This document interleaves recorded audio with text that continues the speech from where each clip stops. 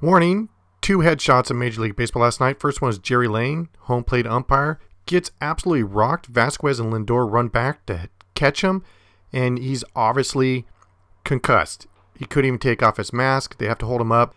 Then the trainers come out. They go through the concussion protocols, testing him, and he's just he's spacey. He's just too rocked.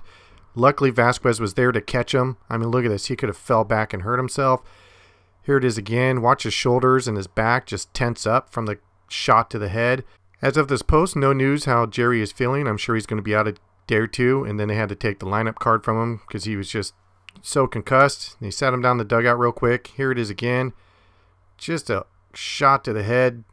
Glad he's not too bad off, but man, thank God that someone was there. And Hunter Wendelstedt came out to back him up. And then the second one of the day is scary shot. Bryce Harper takes a fastball, 97 mile per hour from Cabrera right to the head.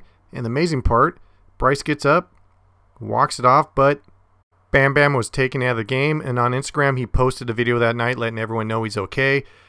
Man, straight 97 mile per hour shot just to the left of his nose and his cheek.